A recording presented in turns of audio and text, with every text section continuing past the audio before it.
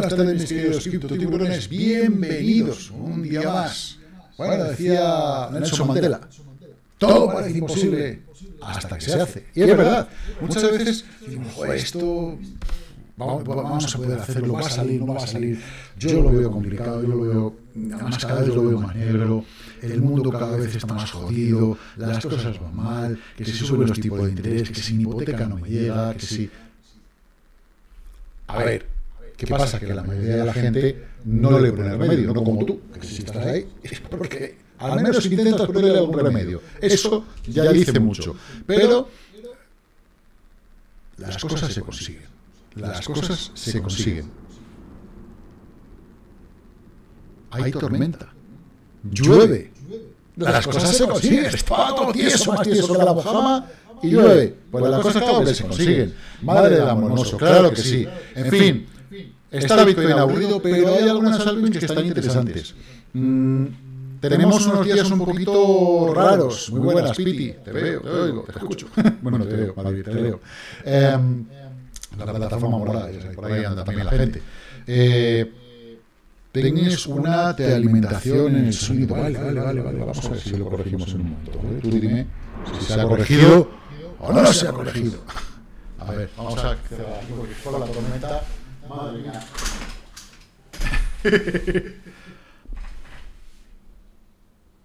Ahora, ¿qué tal se oye? ¿Se oye bien? Porque ya no puedo quitar más cosas. Realimentación, pues no sé, chicos.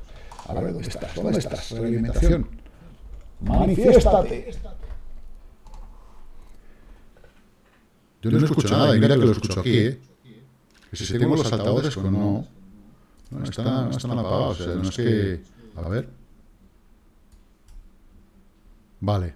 Mm, no sé, el audio del escritorio lo acabo... A ver ahora, ¿qué me cuentas ahora? Pa, pa, pa. ¿Se me oye, se me escucha, se me recibe correctamente? es lo que tiene el directo. Yo juego en un campo diferente. Ahora, vale. Pues sí, tenía el audio del escritorio, me estaba retroalimentando ahí un poquitito. Vale, genial, muchísimas gracias. ¿Qué haría yo sin ti? Ay, Dios mío. Bien, eh, dicho esto, eh, vamos a ver cómo están eso, las altcoins algunas, que alguna está, está interesante. Yo alguna de las que estaba siguiendo, que lleva tiempo sin seguir, está ahí haciendo porcentajes pequeños, porque la verdad es que está moviendo pequeñito, pero bueno, venga, vamos a ello.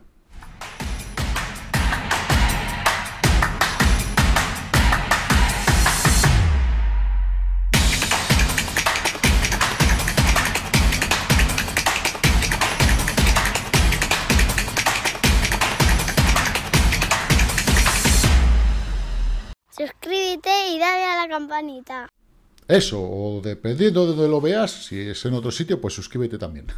vale, em, hay mucha gente que no lo sabe, pero es claro, yo, todos mis vídeos son en directo.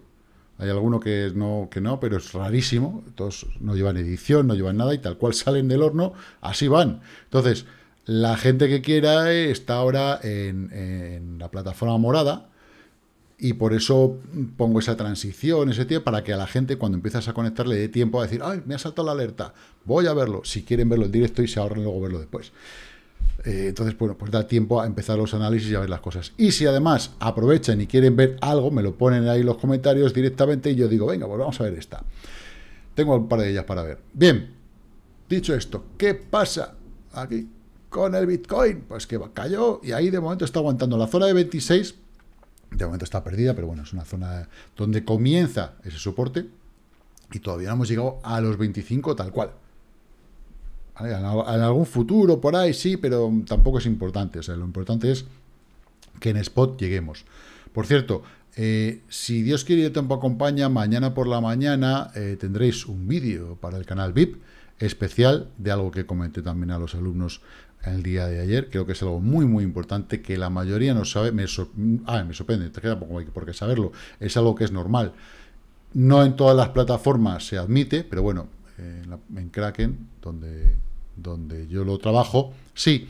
Y bueno, es para que lo para que le peguéis cuatro vueltas por si os puede interesar, que yo creo, bueno, creo no, estoy seguro al 100%, al 100% de que a la gente del VIP os va a interesar. Bien, eh, entonces, bueno, Bitcoin sin, sin, mayor, sin mayor interés, importancia ni nada. O sea, yo ahora mismo, vamos a este gráfico, mientras no perdamos esa zona, ¿vale? Que es un soporte importante y vayamos a, bueno, pues a zonas que para mí resultan más importantes, no le veo mayor interés. Hablábamos de un hombro, cabeza, hombro eh, ascendente con el pullback realizado y nos vamos para abajo. Opción 1. Opción 2. Hombro, cabeza, que aquí se genere otro hombro y después nos vayamos para abajo. ¿Vale? Esas dos opciones están ahí y bueno, pues se pueden servir dentro del plato. Ahora bien, ¿y la opción 3? ¿No hay opción 3? ¿No hay una opción que sea positiva? Pues claro que tenemos que ver una opción positiva. Hay otra opción que también es positiva, aunque yo creo que es un poco temprano para hacerlo, y es simplemente que de aquí podamos ir al alza y pasemos ese máximo anterior. Y nos vayamos incluso al cerrar el gap que tenemos en futuros, en los 35.000. ¿Por qué no? ¿Por qué no? A ver, que alguien me diga por qué no. Si no estoy de acuerdo, decime por qué no se puede producir eso. A ver, yo veo que hay menos posibilidades de que eso se produzca. ¿Vale? Porque, bueno, los porqués ya me los ponéis vosotros. En fin. Eh, ¿Qué pasa con Ethereum? Lo mismo que con Bitcoin. La zona de resistencia perdida, o sea, de soporte, perdón, se testeó y nos vamos para abajo. Hay que seguir esperándolo que siga cayendo. Eso, esa es mi perspectiva con lo que yo trabajo ahora mismo, que sigan cayendo. El total market, a ver, el trillón, ese billón real, eh, yo no sé, no sé realmente si vamos a, sostenerlo. Psicológicamente es importante no perder este mínimo, ¿vale? Dentro de los 990 y pico, lo que es el ese billón, ¿vale? Ese trillón de ellos, de ellas. Eh, sí que es cierto, ¿vale? Y pasa en Bitcoin, si nos ponemos aquí en diario, que ya tenemos una divergencia. Y el tener divergencias en diario es interesante, pero no es concluyente, ¿vale? Entonces, si tenemos ahí divergencias, pues bueno, vale. Pero lo dicho, son interesantes, pero no son concluyentes. Es algo que nos va diciendo cosas. Mientras no empecemos a ascender de verdad, y yo creo que tenemos que irnos al mercado de cuatro horas, en el momento que empecemos a retomar eh, el 50% hacia arriba, vale. Pero ahora lo que tenemos es un camino que solventar, y está ahí. Entonces, creo que a lo largo del fin de semana, bueno, podremos tocar horizontalizando, aunque sea inclusive cayendo la línea de tendencia, y la semana que viene creo que nos van a dar una alegría eh, hacia abajo.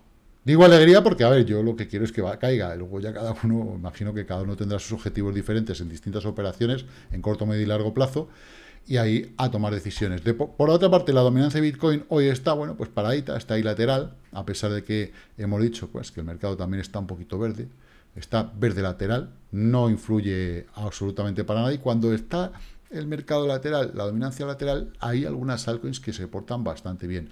Cuidado, por cierto, la semana que viene con este señor, señor dólar, porque estará bastante potente. Quieren hacer pupa a muchas economías y lo van a conseguir, que no os quepa la menor duda.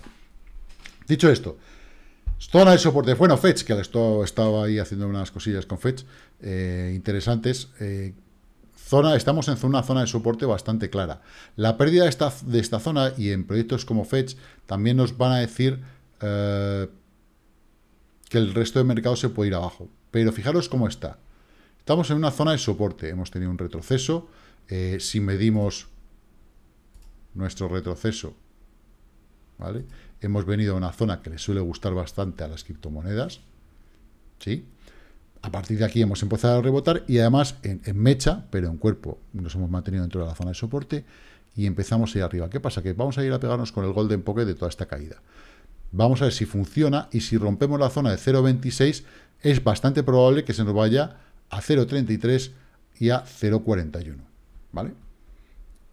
Esto es muy, muy, muy interesante. ¿Por qué? Porque si nos fijamos en RSI, también estamos a punto de llegar a zona de construcción, ¿vale? Lo que llamamos una zona por encima del 50% de RSI en semanal, ¿vale? En semanal. O sea que está muy potente. ¿Qué pasa? Que claro, ahora en diario tenemos que ir solventando esas historias. ¿Qué necesitamos? Hemos roto la línea de tendencia, ¿vale? Vamos a verlo. No es la del máximo histórico, esa es una línea locura, pero de los últimos movimientos tenemos línea de, a ver, aquí, línea de tendencia rota. ¿Qué tenemos que hacer ahora? no pasar como pasó con esta mecha, sino cerrar por encima de este triple techo que tenemos aquí. En el momento que tengamos un cierre por encima de 0.246 aproximadamente, y si puede ser con un poquito de autoridad mejor, pues ya empezamos a pensar en objetivos bastante más arriba. Tener en cuenta que simplemente ir a esta, por ejemplo, esta zona, o inclusive este apoyo que tenemos aquí, ¿vale? En la zona de 0.31, desde donde estamos, ¿vale? Estamos hablando de, al cierre, un 29%. Es más que rico. Entonces, bueno, yo ya sabéis que yo estas cosas, yo os las digo y ya cada uno que tome eh, pues las decisiones que crea conveniente. Luego decís que yo no digo nada, pues yo sí os digo. Pero lo de siempre, ni este canal ni el canal VIP es un canal de señales. Las dé o no las dé, ¿vale? No lo es. Ni tengáis la esperanza de que lo sea. Bueno, a lo mejor un poquito, pero hasta octubre nada. Bueno, septiembre, final de septiembre. Eh, por otra parte, los cortos de Bitcoin, fijaros cómo están cayendo. ¿Por qué están cayendo los cortos de Bitcoin? ¿Hay alguna noticia, algo, algo en el mercado que haga caer los cortos de Bitcoin de esta manera tan brutal? Porque es brutal. Está, está en sábado comiéndose los del viernes. Esto es raro. Esto es bastante raro. Yo no sé si había alguna noticia o no. Si hay alguna, me lo, me lo contáis. porque, bueno. Ah, creo que la veíamos el otro día, 9%. Decíamos que no, que tenía que crear, o estaba creando ya una divergencia muy importante y que tenía que empezar a caer, efectivamente. Ahí vamos. ¿Has analizado Bank Inter alguna vez? Pues creo que por ahí la tengo, ahora lo vemos. Eh, y si no, no importa, se analiza, si es que da igual. O sea, de verdad que eh, bicharraco, el bicharraco, qué bueno, cómo mola, me encanta. Eh, cualquier valor se analiza exactamente igual. A ver, hay que tener en cuenta fundamentales que pueda tener ese valor, pero de los fundamentales ya os encargáis vosotros, yo me encargo de la parte técnica. Hacemos trabajo en equipo, ¿no? Anfi también, que bueno, pues estaba llegando a puntos importantes, ha roto la línea de tendencia y ha roto también la tendencia al hacer cierre por encima de esta zona. ¿Qué le toca hacer aquí ahora? Una banderita bastante larga, inclusive con un retroceso posiblemente bastante probable a la zona de 5.8 para intentar volver al alza si el mercado le acompaña. La línea de tendencia que tenemos RSI, súper importante, ¿vale? Vigilarla bien, eh, igual que en, todos los valores. Eh, y bueno, pues por aquí en la parte negativa tampoco tenemos más, porque ya estamos por debajo del 5%, no es importante. Bueno, Bitcoin caso, Bitcoin caso hablaremos largo y tendido. Em, en la parte positiva, en la parte más positiva, tenemos a ISEC, ¿vale? RLC es, bueno, pues plano, plano. Eh, pretendía ser lo que pretendía ser y, ahí está plano. O sea, tampoco tiene mayor historia. Eh, ARPA, esto ya es otra cosa. vamos a ver, tenemos aquí análisis de ARPA antiguos.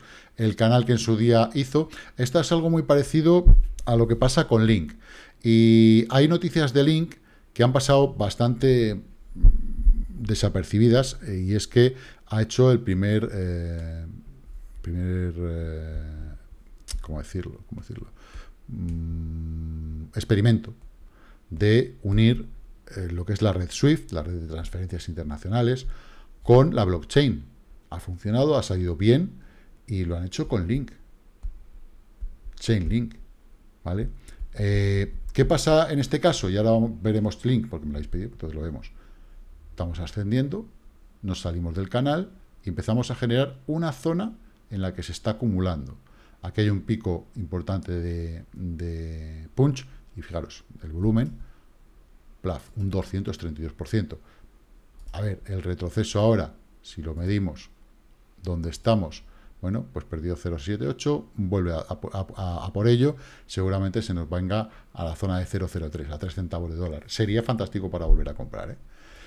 ¿Que consigue pasarla y se nos va un poquito más arriba? Mm, yo todavía no confiaría mucho. Pero, bien. Eh, pero bien por Alpa, la verdad es que no sé a qué se debe, no lo sé, y como no lo sé, eh, no puedo decir si el fundamental es bueno, oye, a seguir hacia adelante. Eh, 8.76, intentando salir de la ñorda, pero claro, eh, de estos mm, pumpeos, pues no son más que pampeos, yo creo que son pampeos, no es otra cosa. Mm, a mí no me mola ni un pelo. Valores así, no, demasiado bajo. Voxel K, que la veíamos no hace mucho, la zona de soporte que tenía la perdió, que ahora vamos a cambiarlo porque es una zona de resistencia. Tacatas. Entonces, bueno, lo normal, lo lógico es que se nos venga a este TP1 antiguo, muy antiguo, y bueno, pues a la zona de soporte de mínimos. Vamos a ver cómo, cómo quiere, cómo quiere hacerlo. Si el mercado se fuera al carajo, apostaría por estos dos mínimos que tenemos aquí. El suelo que hubo ahí, 001696, estaría bastante bien. Pero creo que está bastante consolidado, identidad digital, ¿vale? Self-key es identidad digital, para que no lo sepa. Y bueno, pues puede todavía hacer cosas bastante majas eh, para el próximo Bullrun que haya. Eh, ¿Cuánto hizo el máximo? En eh, tres y medio, tres centavos y medio, claros. Y ahora está por debajo del medio centavo. Bien, eh, por aquí tampoco hay muchas cosas así interesantes. One Earth un cuatro y medio, no está mal, vale, bien. vamos a Link, porque lo que quiero que veáis de Link, aparte, bueno, de la noticia, que ha pasado ya completamente desapercibida, me parece increíble, pero estas cosas suele pasar. ¿Qué pasa? ¿Dónde está? Pues veis que el esquema es muy parecido al que hemos visto antes. Un canal, a ver, a lo bestia, porque estáis a lo bestia en comparación, ¿no? El canal ascendente que, tuvo, fijaros que se fue hasta la zona de 52 dólares, es decir, un 10x más o menos de donde estamos ahora. Perdió ese canal y desde mayo del 22, es decir, lleva un año y medio, lleva 18 meses aguantando en esta zona. Sí que es cierto que, bueno, de donde estamos ahora hasta la resistencia pues un 44%, está marcándose 44, 50, 50, 50, 50, 50, ¿vale? Más o menos así está trabajando.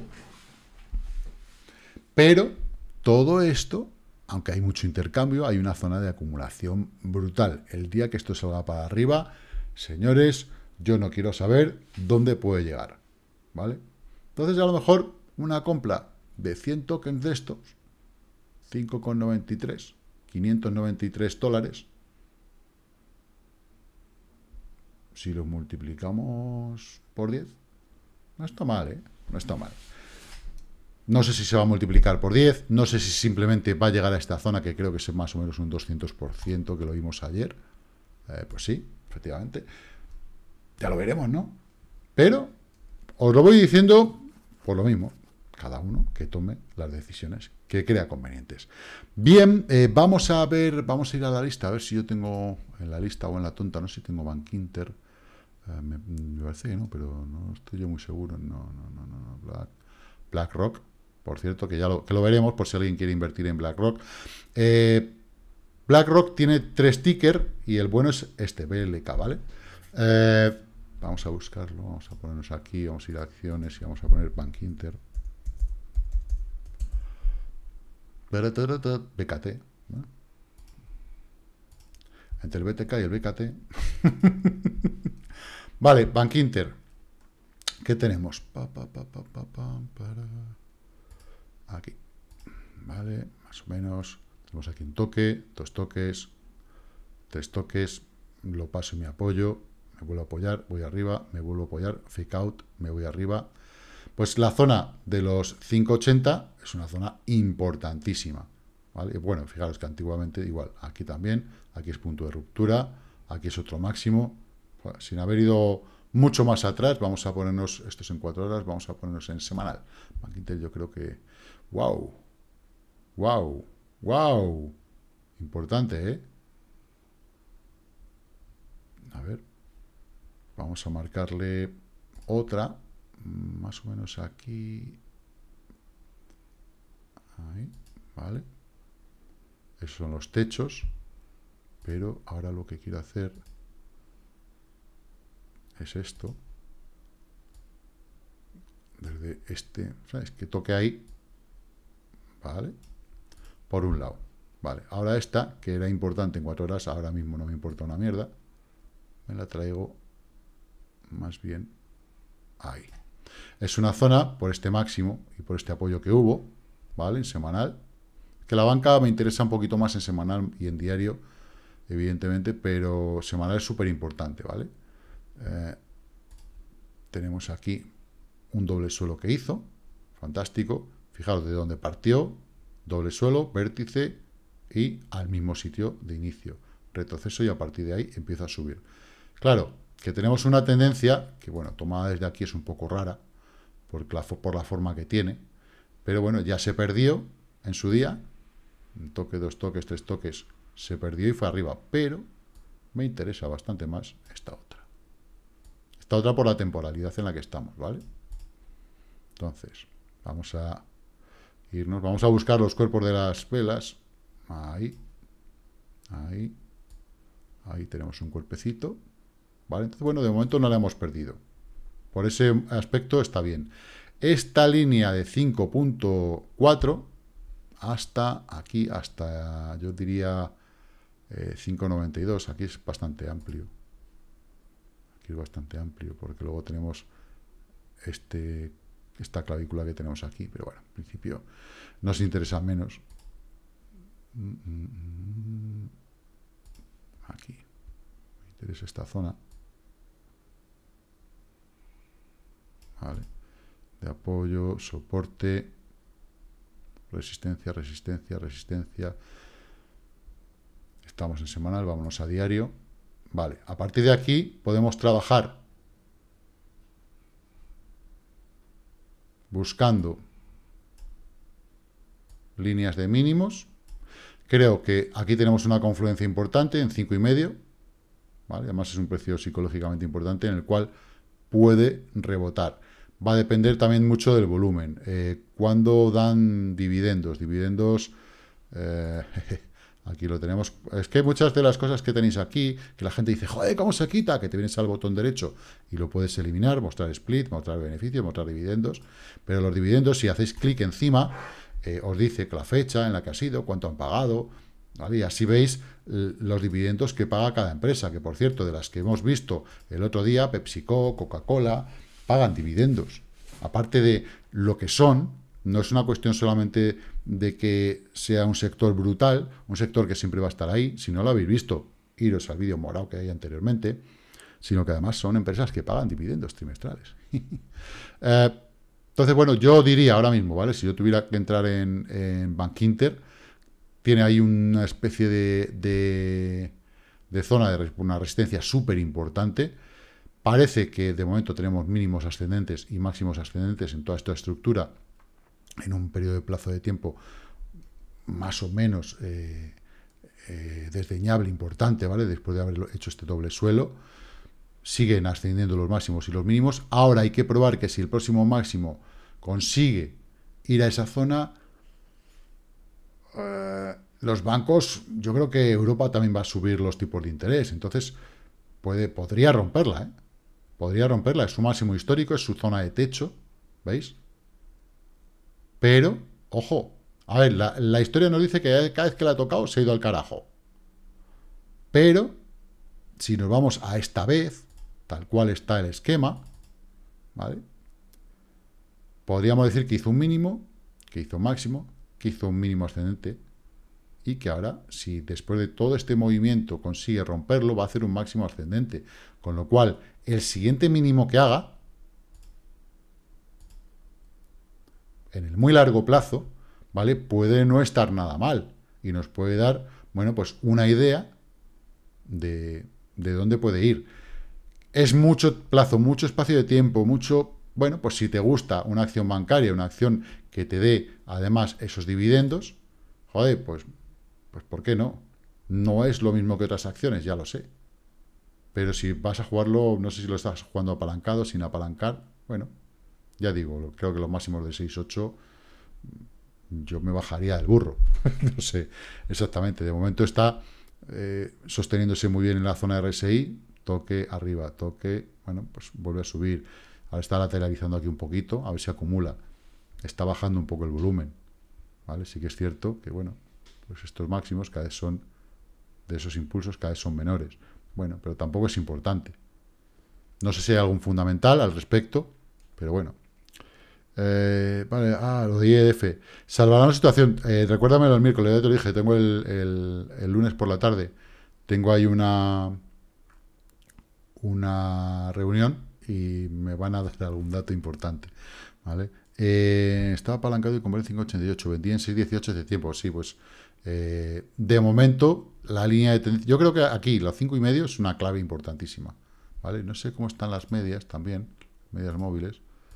Eh, está perdiendo 50. En estos momentos la media de 100 es la única que puede caer y rebotar al alza, pero yo ahora mismo lo único que esperaría sería o bien la línea de tendencia con esta zona de aquí, de 5 y medio, vamos a marcarlo aquí para un futuro por si acaso, ¿vale? Creo que esa, esa zona es zona de compra. ¿Por qué digo zona de compra? Porque básicamente ha ido haciendo mínimos y máximos ascendentes, pero aquí de momento ha hecho el mínimo, pero ha intentado ir al alza una vez y dos veces y no ha podido. Si lo intenta una tercera después de tocar la media de 100 y no puede, evidentemente ya te vas aquí abajo a buscar liquidez, donde se ha apoyado anteriormente. Ya veremos, a ver. Pues aquí se apoyó, vino bien este máximo y este máximo. Nos hemos apoyado, vale, fantástico. Pero cuando intento arrancar a por el siguiente máximo, no puedo una vez, no puedo dos veces. Si a la tercera otra vez no puede, es más probable que nos vayamos a, a cinco y medio que, que nos mantengamos por encima de 6 un corto sería, yo creo que, a 6-8, si vuelve a tocar la zona roja, puedes acumular cortos tranquilamente. Eso ya depende de cómo quieras jugar. Te gusta, te gusta, te va la mandanga, ¿eh? Te gusta, a ver, gusta, eh, eres, eres masoquita ahí, ahí guay, mola. Mola, no, pero lo que que son valores que son bastante predictivos. Entonces, ahora mismo su tendencia es ascendente con lo cual, cualquier toque en una zona de estas es para comprar en largo. Y apalancado, pues sí, claro, pues que tampoco tienes un riesgo demasiado alto de que se vaya a ir al carajo. Al revés, lo más probable es que si yo tuviera que, apostar, empezaría a apostar al alza. Aunque luego se me viene ir aquí abajo, a 5,5, de 5,8 tampoco es que es nada, 5,9 tampoco es nada raro. Al poder acumular más, para irte ahí arriba. Porque si suben los tipos, esto va a seguir subiendo ya está. No, no tienen más, más secreto la banca. Vale, pues si no tenéis nada más, eh, cerramos eh, por hoy. Espero que paséis un feliz sábado. Vamos a ver, vamos a terminar con nuestro querido Bitcoin, queridísimo. ¿Vale? Eh, a veces odiado, porque lo mismo que te da, te quita. Esto es como Santa Rita, Rita, Rita. El doble suelo, ese grande, vino genial. Gracias por todo. Sí, sí, no, es un doble suelo fantástico, además de libro, la verdad es que fue genial. Y, cuando hacemos una figura, además, hay una cosa guay en esta. En este. Ah, ¿Dónde está? Ah, no, la tengo abajo del todo, aquí. Hay una cosa guay en este doble suelo que se ve muy bien, y es que cuando hacemos un doble suelo de este tipo, cuando después rompemos el vértice, tenemos una oportunidad muy buena, ¿vale? Una oportunidad buenísima, porque normalmente lo que hace es suele, suele, viene, hace un pequeño número de ataque, retroceso, y a partir de ahí hace un ataque cojonudo. Y suele ser así con los dobles suelos. Eh, otras veces tenemos otras cosas, esta, este otro, este es el grande, el tocho, ¿vale? Igual, en el momento que pasamos esto, ¿cuál es la, la proyección normalmente que buscamos de un doble suelo? Buscamos esta, ¿no? Que en el momento que yo rompo el vértice, me voy hasta ahí. Fijaros cómo había una zona de resistencia importante. Pues igual, si yo hago un doble suelo y veo que es un doble suelo muy claro, y no quiero entrar aquí, pero veo que lo está haciendo, en el momento que rompa el vértice, entro y me hago el resto de, la subida. Es algo bastante típico, hasta la resistencia. Fijaros, un 45% en un Mankinder en largo plazo es mucho decir, ¿vale? Pues estamos hablando de pues que lo hice en cuánto, en cuatro meses más o menos, a lo mejor, una cosa así. Eh, hasta ahí, aquí. 249 eh, días, bueno, un poquito más. Pero joder, está muy bien. Son operaciones que para ser banca y para ser bolsa, los que estáis ahí ya sabéis perfectamente de lo que hablo, son muy buenas, son muy buenas. Y luego además, desde ese punto que empezaron a subir los tipos de interés, pues ya sabes que tienes tus zigzag bueno, si te apalancas, evidentemente que veo que lo haces, mm, blanco y en botella. Son, son operaciones maravillosas. Entonces, bueno, yo creo que ahora mismo la media de 100, por un lado, y bueno, pues esta zona de confluencias que tenemos aquí, pues son, son dos claves importantes. Y sobre todo cuando den las noticias, ¿vale? Cuando den las noticias de las cosas. En fin, bueno, lo dicho, nos terminamos con, con Bitcoin, que si no van a venir aquí a, a tirarme de las orejas, que es sábado. Y, Bitcoin pues está aburrido, sin ningún interés de momento, eh, más allá que imaginar que hace esto, sube y luego hace esto y vuelve a subir. Podría ser, ¿vale? Es una posibilidad, que alguien me lo ha dicho por ahí. Sí, ciertamente es una posibilidad. Pero vamos, lo más probable ahora mismo, tal y como está todo, que vayamos a buscar golosina, chicha. Así que venga, chicos, como digo siempre, invertir con mucha cautela, guardar esa liquidez que la vamos a hacer a necesitar, ya os lo digo yo, y que la paciencia se acompañe. 再见。